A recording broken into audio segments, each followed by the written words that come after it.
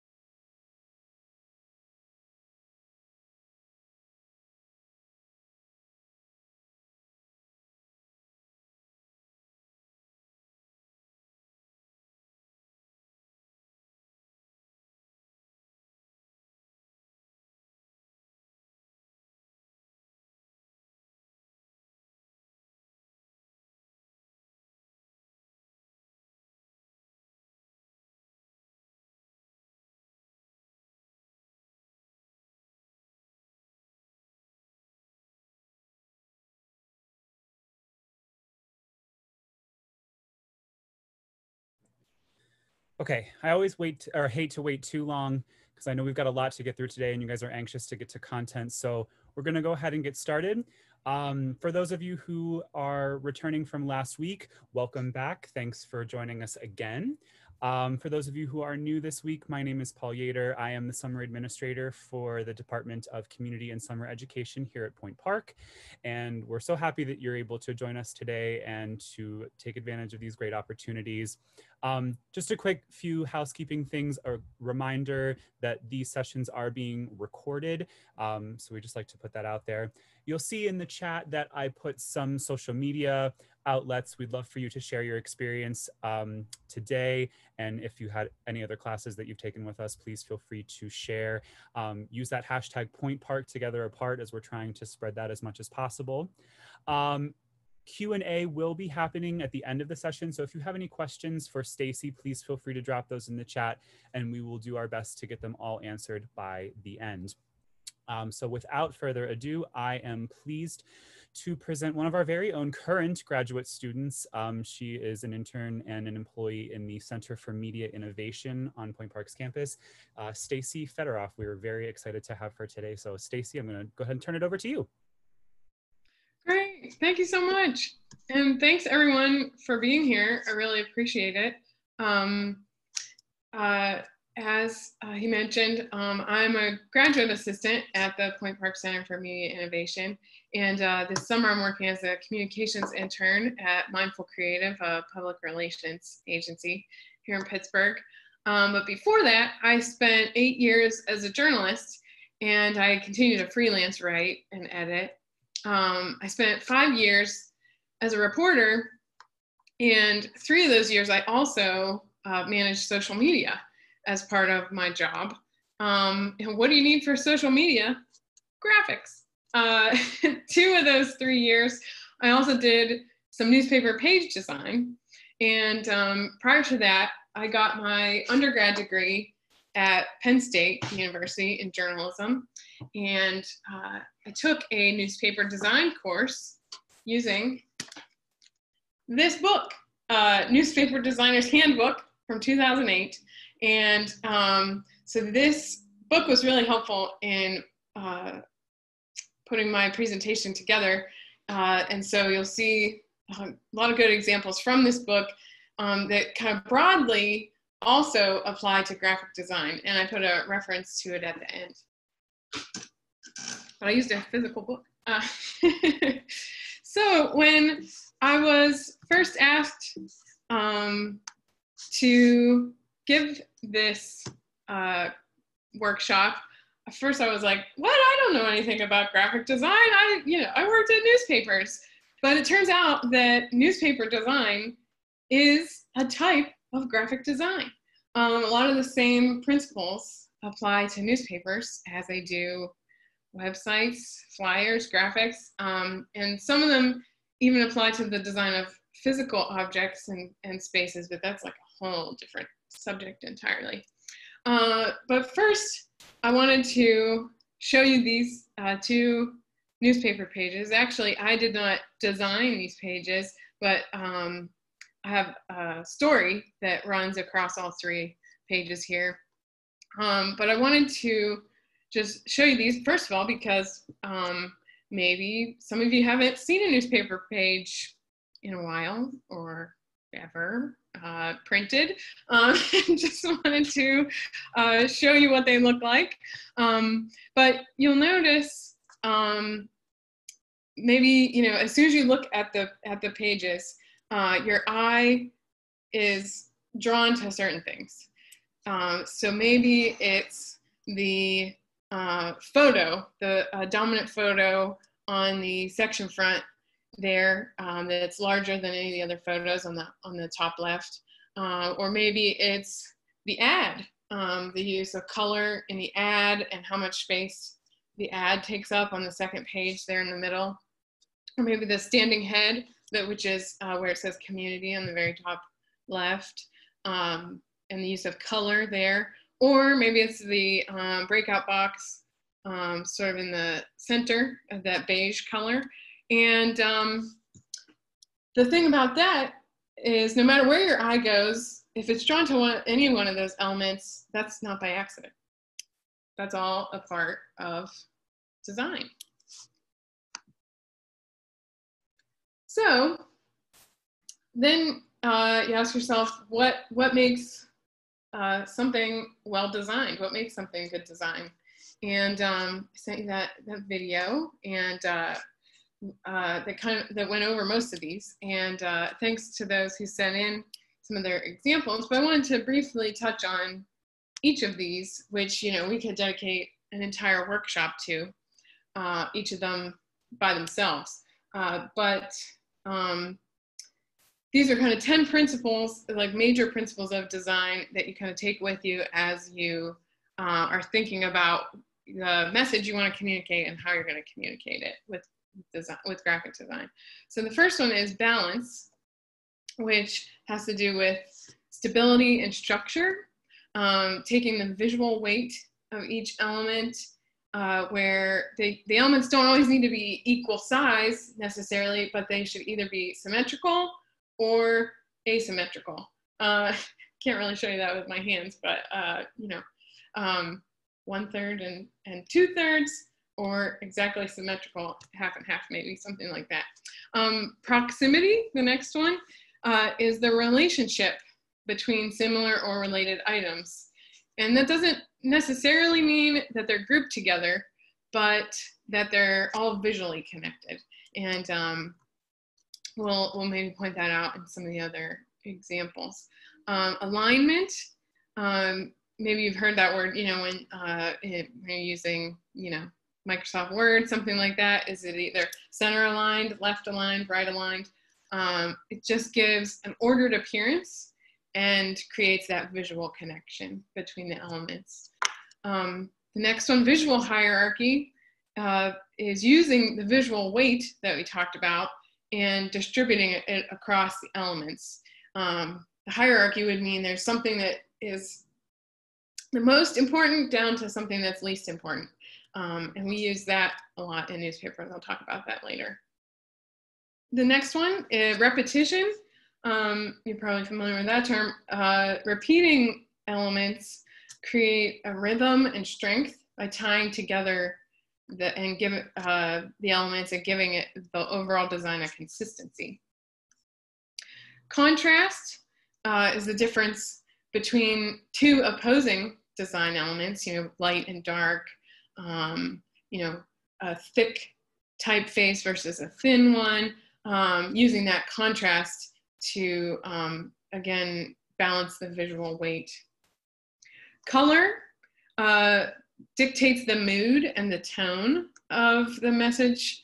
Um, and, you know, color theory is an entire, again, you know, entire subject matter in and of itself, what colors to use when, um, you know, the, the different feelings you have when you look at something that's red versus something that's green or yellow or blue.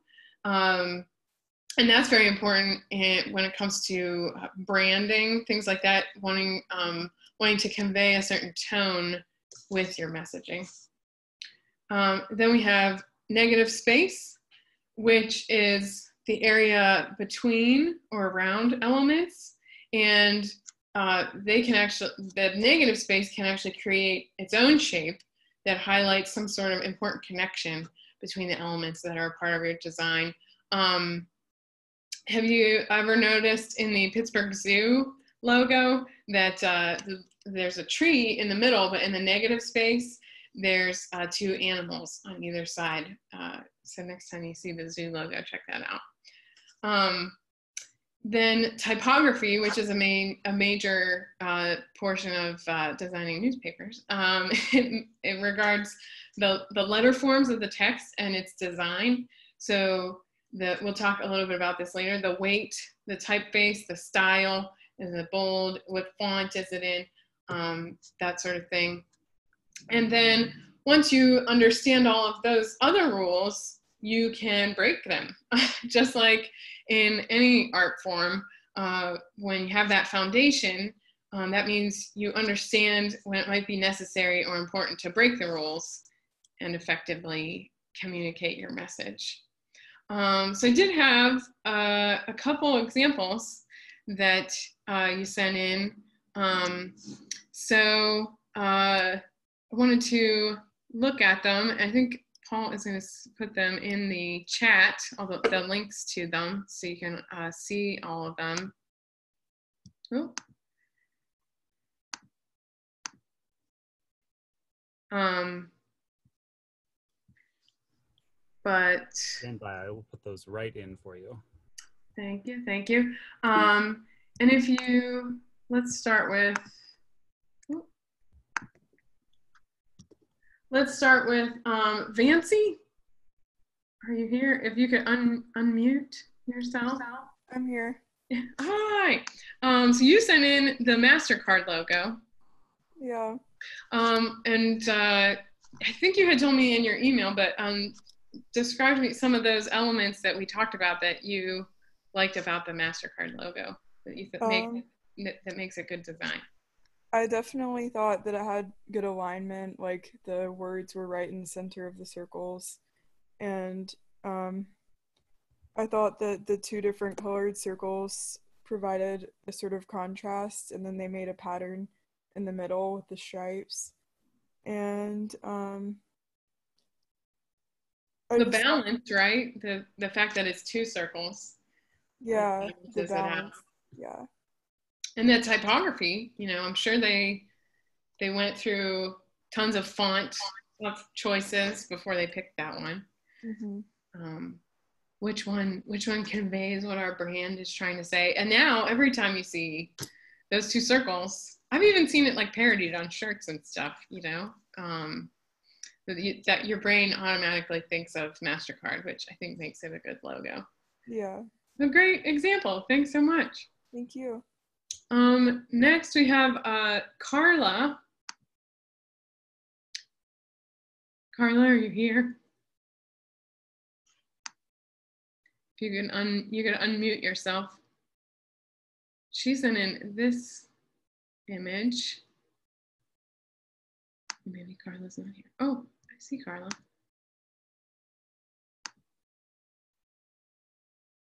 Well, maybe we'll circle back around to Carla. Um, is Nikki here? Yes. Hi, Nikki. Hello.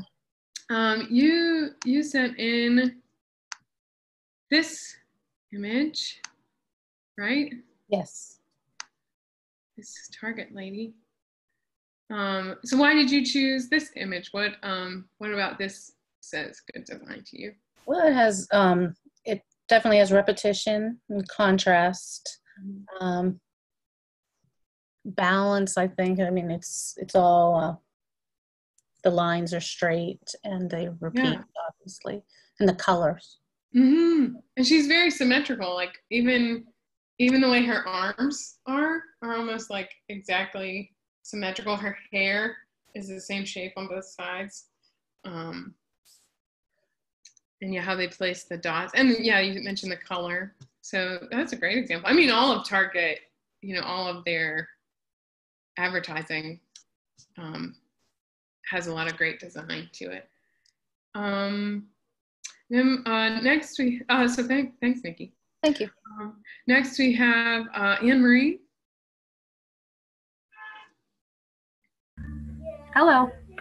Hi, Anne Marie. So um, I, I wanted to use your example because uh, you you actually chose a website that your students created. And so what do you what do you consider uh, good design about this this website? Well, I don't know because the the I watched the video you sent out yesterday, and because I'm so new to this, that was the first I was ever introduced to those principles of design. So, you were looking for examples. I thought I'd send it in and see. Oh, oh, I see, I see. Okay, well, uh, I th- when I looked at it, I think color is is well used here, right? The um, red and the blue. You're you're carrying the red from the uh, the logo, uh, and uh, imagine is that the school colors, red and blue? Yes. Sorry, I just keep muting because my kids are. Oh, no, that's fine. Um, so then you know you're carrying the red through the typography. The the the font that you chose is very bold and it's really easy to read. So that you know when somebody's uh, looking at it maybe on their phone, uh, it's really easy to read it. It's not um, too um, cluttered. I think it has a good alignment. Like you see here, the the heading, the sports here in the middle. Um, so I, I think it was a good example. So thanks for sending that in. Thank you. All right. So thanks everyone who contributed those. We're gonna go back to my slides here. That's to get it get us started. But um, so keeping those uh, kind of rules in mind, uh, why does good design matter? Well, um, you can think of it uh, when it comes to these three C's: content, convenience, and composition. So quality content means that uh, it's informative. Your design is giving something to the reader, uh, is sharing your message, um, and they're taking something away from it. So even if it is purely um, uh, graphical and, and there's no text, they still, you know, a color can convey a mood or um, a shape can, uh, you know, um, impart like a feeling. And so it's important that uh, the content is there for the reader or viewer. Then the next, uh, reader convenience means that it's inviting and engaging. It's easy to read. Uh, it's and navigate and understand whether it's you know a printed flyer, a billboard, a website, and then um, you have the third C, uh, artistic composition, which is kind of a, a combination of the both, the content and the layout working together to communicate the full message creatively. So, um, you know, anytime you go to design something, you can think about it in those terms to to um, actually convey your message more effectively. So if you're going to sit down and design something, once you have the, the three C's in mind, um, I think you need to consider uh, these four things. First of all, your purpose. Um, so what is the message that you're trying to get across? Is it news like the student's website? Is it an advertisement? Is there a call to action? Do you want the reader and viewer to take, you know, to sign up for an event or buy a product? Um, what's your purpose? Uh, then next is your audience. Um, is is it a particular demographic that you're looking at? Is it a general public audience? Is it uh, um, by by geography? Is it just people in Pittsburgh? Is it by you know profession? Something that's um, kind of uh, um, a smaller group, like, or if your audience is dentists, you can use jargon and phrases and maybe imagery that uh, dentists recognize more readily than you know some other group, farmers or something like that. Um, a good example, I think, when I was thinking of audience, is what, uh, whether or not you use swear words. There are different, and I, of course, as I'm a journalist, I think about it in terms of journalism. Um, you know, some publications, some news outlets, they don't mind swear words. They they um, think that their audience is adult enough to understand we can use swear words. Some places they put the little asterisks, and other places will take out the swear words entirely. So that's that's kind of a, an example that I that I thought of. Um, next thing to consider is the media or the platform. So are you um, going to have something that is digital? It's on social media. Is it on a website? Is it um, going to be printed? What size will it be? Is it a billboard? Um, and that'll all dictate parts, elements of your design. Um, you also need to think about if it's going to be um, on seen on a cell phone um, or if it's responsive, if the website um, changes with the size of the device that it's being uh, viewed on. And those are all considerations when you go to make your design because you wouldn't want, you know, someone's picture to get cut off or type to be too small to read, um, that, that sort of thing. Um, and then lastly, uh, coming from working with teams on the design a lot, um, I think that it's good to also consider all the elements. If you're working on a team, you know, and someone else is writing the copy that the text that you're going to have, uh, do you have that text? If you have a, a photo, do you need to work with a, a, photographer and get that photo and get the caption information?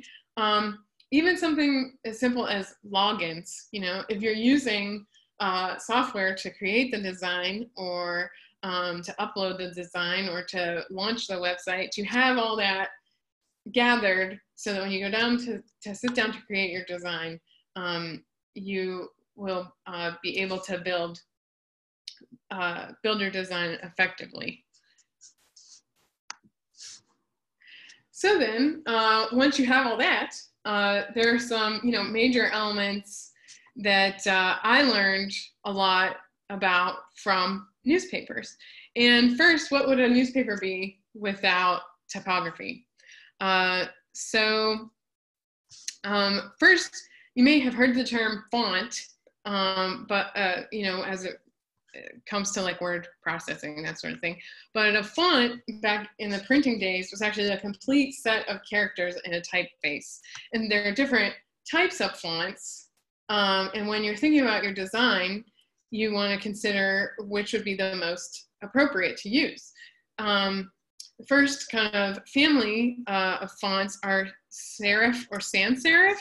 You can see from the example here, um, see on the P or at the end of the S in Sphinx at the bottom, um, those are serifs, the kind of little feet on the ends of the letters.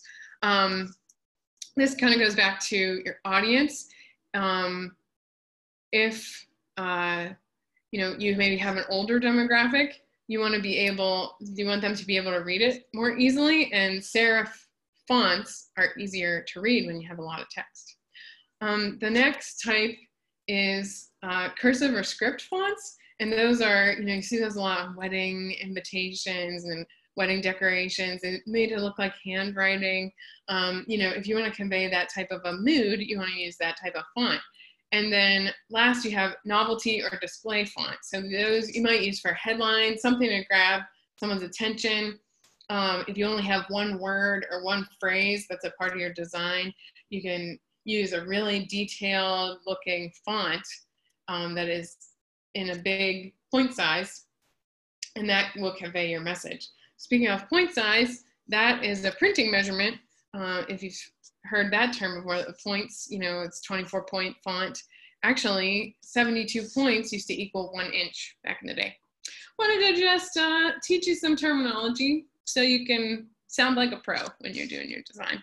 Um, and so here on the right, uh, there are some other guidelines about typography um, and terminology that you may or may not need or use, but I wanted to, to give those to you. Leading is the space between the lines of font, and tracking is the space between each individual letter. And then you have set width, which you can do on a lot of digital um, programs now, which is just stretching out the entire word together. Um, just so you have, have that background. Next, uh, I wanted to talk about photos. Um, and a lot of, um, you know, social media, um, a lot of web design is driven by good photography. So first you want to ask yourself when it comes to photos, how, how do the photos tell the story? Um, do you need more than one photo to tell the story or does one photo have all the action in it? Is the one photo dynamic enough uh, that that conveys the message you're trying to get across? Um, to that end, then you don't really need to use repetitive images.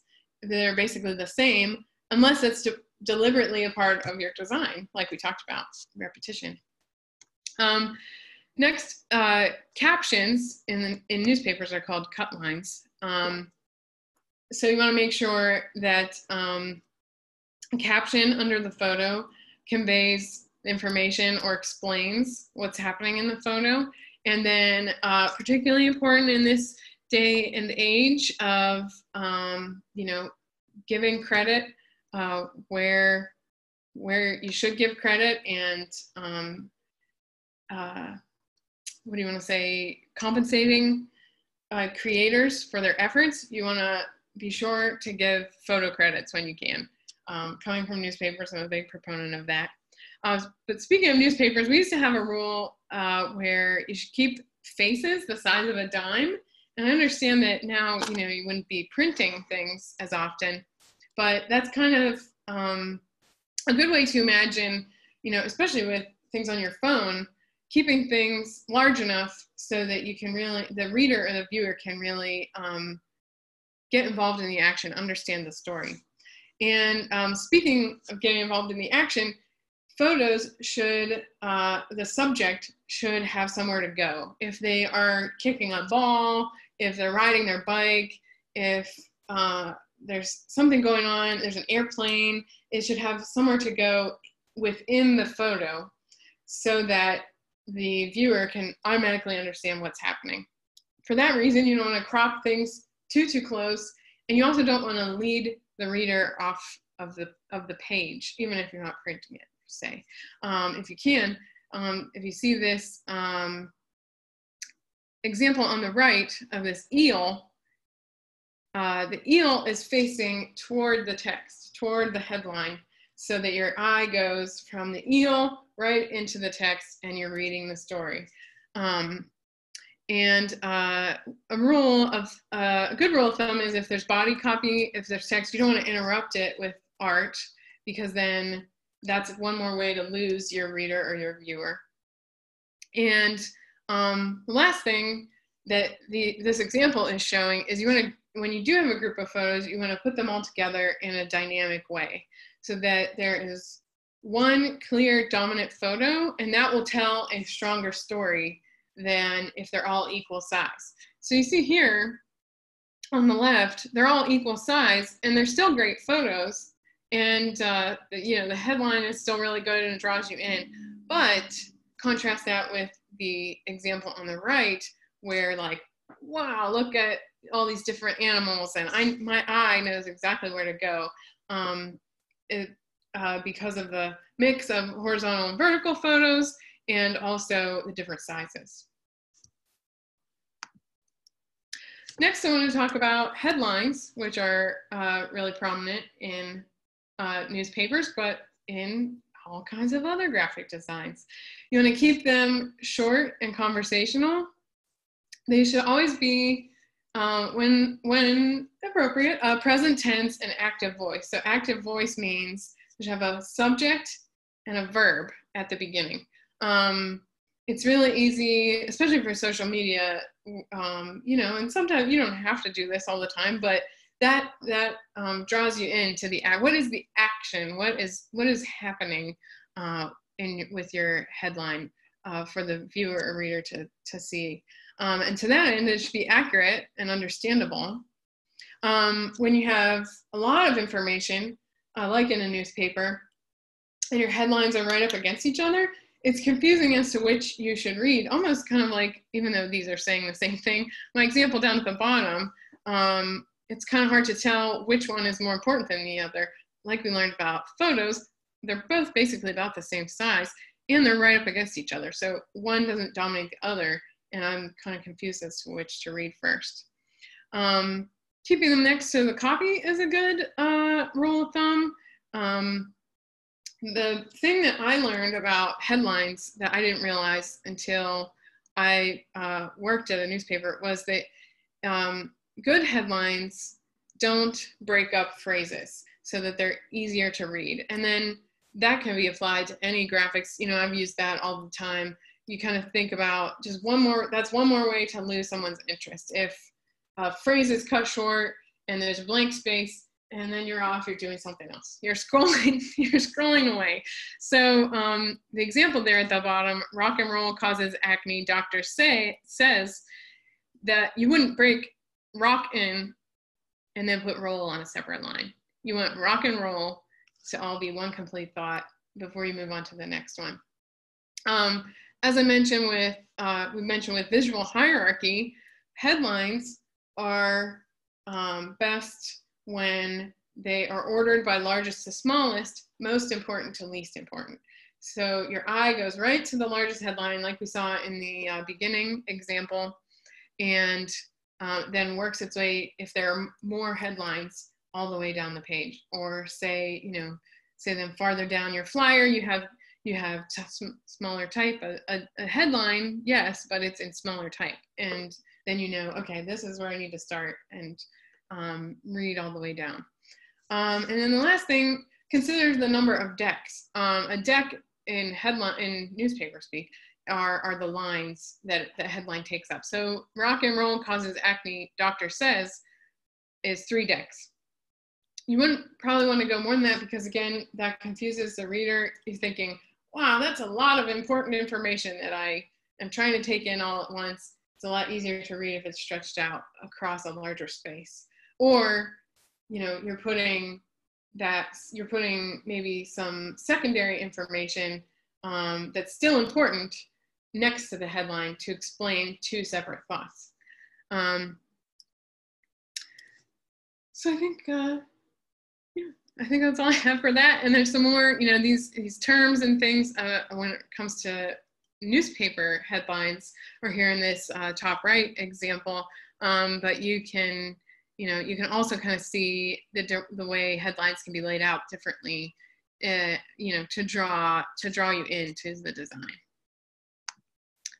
Speaking of laying everything out all together, um, I think uh, graphics and flyers are, allow you to break the rules a little bit um, because, you know, you have a single thought, you have a single message that you want to convey. Come to the book fair uh, or um, you know, uh, car for sale, something like that. Uh, whereas a newspaper has a lot of information that they're that they're trying to convey to you all at once. Um, so um, the uh, thing about layout, and you can look at these examples, um, you know, and kind of make your own judgment from what we talked about when it comes to headlines, photos, uh, but um, you know, you can use boxes to separate text into different but connected thoughts. So like we saw in the very first page, uh, in the first slide, um, that box kind of sets things apart, keeps things organized. Um, one of the rules that I learned from newspapers is that uh, if uh, you have a space that's the size of a dollar bill and all that it's touching is body copy, then you might want to consider redesigning it uh, or you know adding some different elements um, you know uh, changing the the layout of you know making things fit differently so that it's more dynamic and draws the reader in um, and then, like we talked about in the design principles, it's good to remember white space. Um, in newspapers, we always tried to keep everything full of text and everything full of images um, because uh, that's what the that's what the newspaper is for to to be full of information. But when you're designing a, a graphic, a flyer, um, white space can be its own design element, and you can leave things room to breathe. And especially with margins, especially with social media, you know, you don't know what the um, the which device is going to cut off things around the edges. Sometimes it's good to keep things um, so that there there is some white space. And uh, just to bring this back uh, to not you know not just thinking about newspapers, but when it's web design, you have the same kind of things to consider, um, like we talked about uh, with the three C's at the beginning. Um, the size of the platform, whether it's responsive or static, whether it's on a desktop or mobile. Um, surprisingly, uh, I took a web design class at Point Park, and um, when you when you think about a website, you're doing the same thing as a newspaper with um, elements that are above the fold that draw you in. So anything on the first top half of the screen is going to be above the fold and that's right where the viewer or the reader is going to go first. And if you cut everything off at the fold, they're not going to want to be scrolling down. So that's something to think about.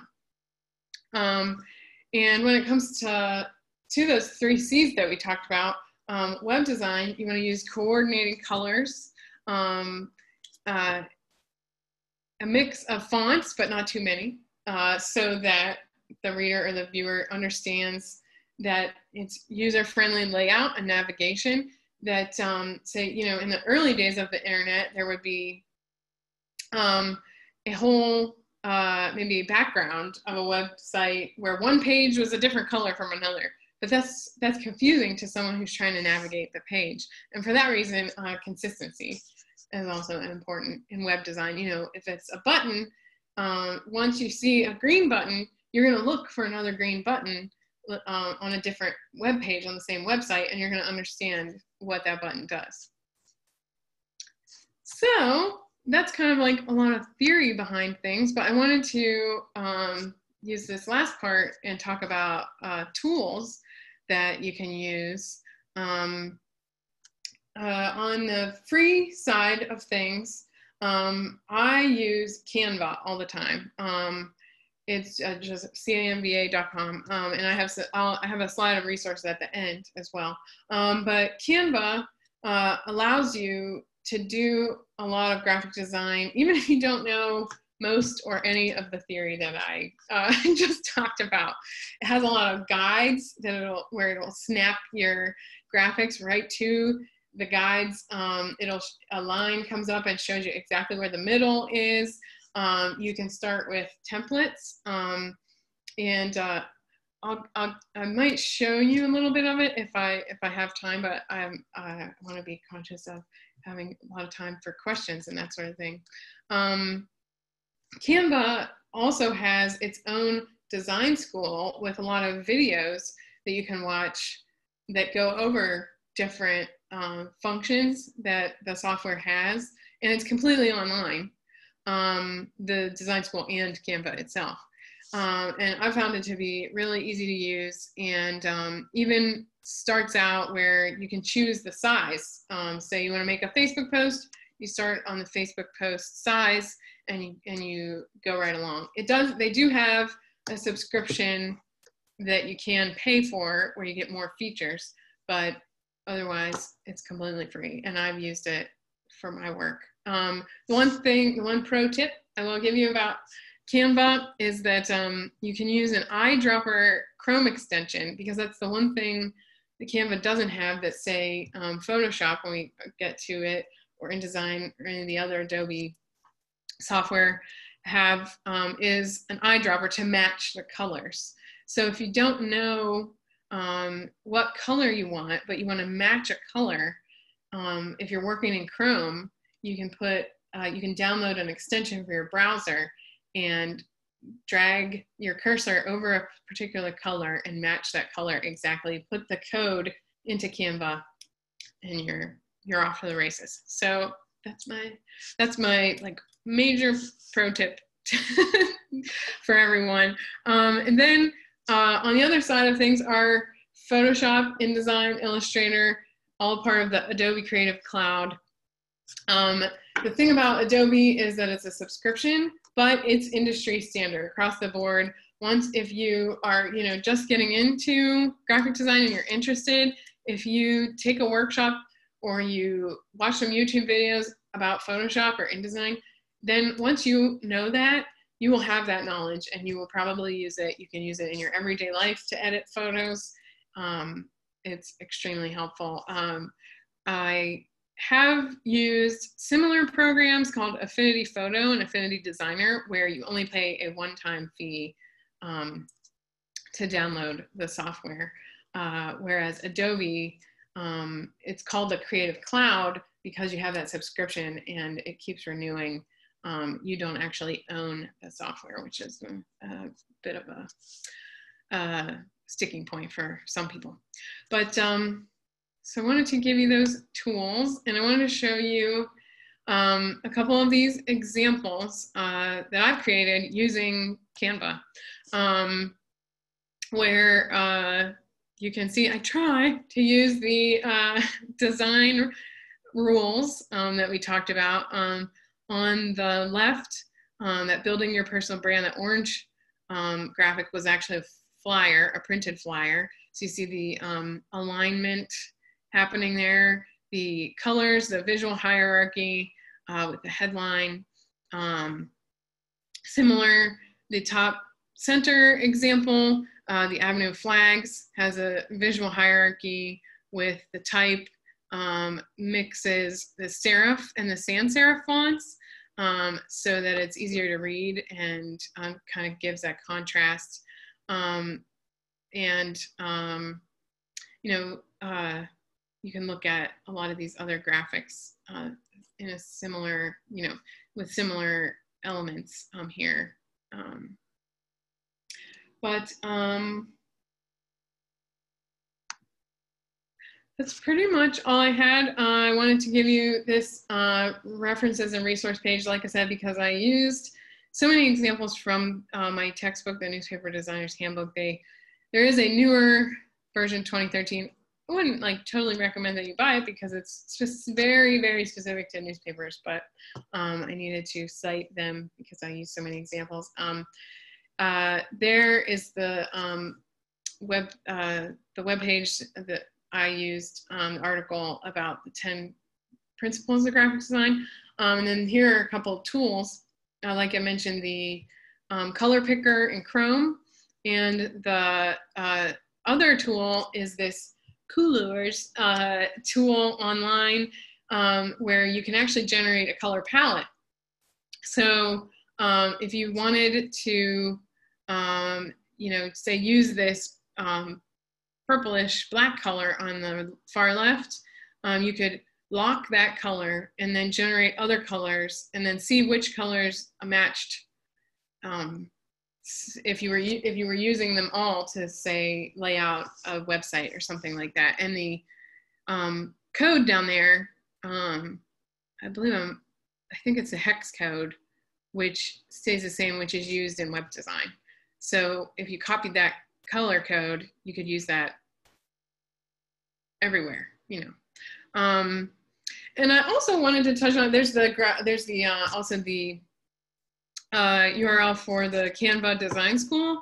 And then I also wanted to mention, uh, since I wanted to keep in mind, you know, if we have some, if we have some high school students or college students um, uh, here today, um, that, you know, you can use graphic design in a lot of different jobs, some which are directly related to art, um, but others, uh, you know, kind of, it's, you know, um, kind of related to graphic design, um, but combines different, um, you know, technology, um, the STEM fields, that sort of thing. So, you know, you can be in game design or fashion design or web design. Um, or uh, but you can also be in marketing and you can uh, advertising. You think about packaging, um, and uh, even all the way up to you know being a teacher or a professor of design, and uh, even being an, an engineer.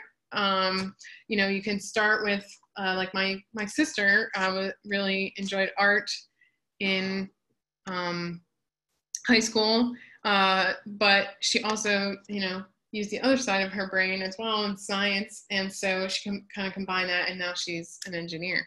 So um, yeah, I wanted to leave you kind of thinking about that. I appreciate uh, your time. And uh, you can see my email address there at Point Park and then my Twitter handle uh, by S. Federoff there. So uh, feel free to uh, send me any thoughts or questions. Um, but now we should have some time, right, for for questions from everyone. We do. Um, so guys, yeah, if you have any questions, please feel free to um, drop those in the chat. Um, Stacey, I think we've had a lot of people who are interested and um, in re-seeing your PowerPoint. So if it's okay, I think we're going to send that out to everyone just for reference. Yeah. Lots of good stuff in there. Um, I know that I've fallen in love with Canva over the past seven months in this job, and it's just been incredible for someone who is very, very um, new to the world of graphic design and marketing. Canva is a lovely tool to just kind of um, get your feet wet and like the guides that you were saying are very very helpful in, in terms Oh yeah, of things visually appealing um I can bring it up. I was I didn't want to run out of time, but um, no yeah i think we're good so uh, yeah, if there's any questions. um annette did ask something uh why did you say to use a dime sized photo Oh, dime sized, that's for faces. Um, when you're thinking about faces, um, that was the dime was um, kind of the standard. If you think about how big a newspaper page is, you know, um, maybe like, you know, 20, 24 inches, you know, and to keep faces that big. So you can, so you can actually see the people's features and they, um, you know, it registers in your brain as a face. If it's if it's much much much smaller, unless it's like a big crowd, something like that. But if it's a face you want someone to look at, you don't want it to be so so tiny that it doesn't register as a face, that it doesn't draw someone in um, to the photo. So, thanks. Happy to clarify that. Again, that might not be always applicable like if it's on social media or something like that you can't really measure if it's a dime but this kind of like just a way to think about keeping a face large enough so you can see it some yeah i think um if you want to go ahead and explore canva just a little bit or give them a Yeah. tour, that'd be awesome um, so when you sign up for canva um, you come to kind of this page um, where you can automatically start with the templates you know you have all these different you know i want to do a facebook post and like i said it will give you the well this is giving you the actual templates like the already designed graphics that you can just go in and edit but we can also create a design that's a facebook post and it knows uh, the dimensions that Facebook likes, you know, so that when you download it and upload it to Facebook, it's not like cutting off part of the design. It's, um, you can see it came up, oh, it came up before, oh, it came up here, um, that it's 940 by 788, and that's the size um, that Facebook likes. But you can um, come over here to the, to the right hand side or left hand side and um, say we want to start with a template. It's Halloween party. And it'll just pop in this template and then I can edit the text however I want.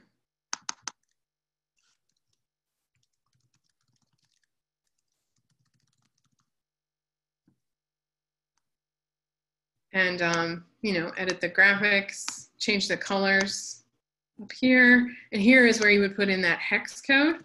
Um, let's try whatever this color is that Oops.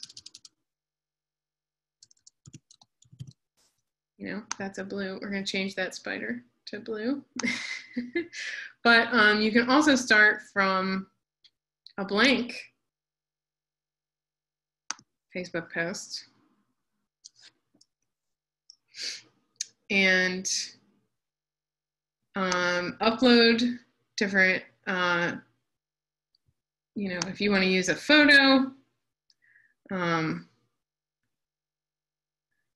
different photos that like are on your um, desktop. You see mine has a lot of Point Park stuff, the GSA. Um, when I was talking about the color picker is here now on my Chrome, uh, the, my Chrome browser, and I can say pick color from website. I don't remember what the GSA green is, but I want it to match it exactly.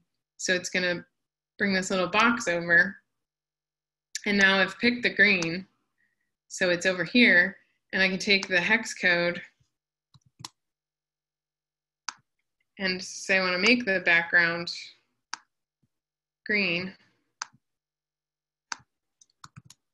Paste it in there, and now it's that exact color green that I wanted. And so, um, you know, uh, yeah, there's there that solid purple line is right right in the exact middle, and it does it both vertical and horizontal. Um, or if you have other elements, it will match. So that's exactly in line with the uh, other graphic so that, you know, we're achieving that balance that we talked about um, and repetition. So the sizes are in alignment, right? Um, um, what else? Oh, you can um, say if you have some text over here, you, they have some templates for text uh, that are where it's grouped together. Usually this has the visual hierarchy. You might even recognize it from that uh, high school media day graphic that I created. I probably used this template. Um, and um, you can then um, do all kinds of things. This is the, they call it uh, the line height, but we learned today that that's leading, right? And then the letter, the, le the space between the letters, um, kerning. is it it's kerning, right? Yeah. Uh, and um, then you can even make it transparent. You could do that, say, if you wanted this graphic to be in the background, you wanted to make it transparent. It would just be kind of ghostly there in the background. Um, and, you know, so it's it's so easy to use um, that uh, it's a great place to start. And you know, all you have to do is sign up for it. Not that like I'm being paid by Canva to tell you this, but once you sign up, that's all you have to do. Um, and this is kind of a good way to get your feet wet as compared to signing up for a full subscription of Adobe um, unless you're really in the commit, you know, uh, because like I said, once you learn Adobe, it's um, uh, used across the board and it'll be good to have those skills. Um, yeah. Definitely. I just want to re-underline for those of you who are Adobe, you know, lesser inclined like myself, Canva is is a lovely first step. So definitely. Um, okay, well, if there are no other questions for Stacey, we would just like to, Stacey, give you a big thank you for sharing your knowledge with us today, and a big thank you to all of you as well who came out to join us. Um, be sure to uh, tune in. We've got still four more weeks yet of, of lovely content set up for you, um, and we will be sending that presentation out. So if you have any questions, feel free to reach out to Stacey or us and we will be happy to help. So thank you all again and we look forward to seeing you next week. Thanks everyone.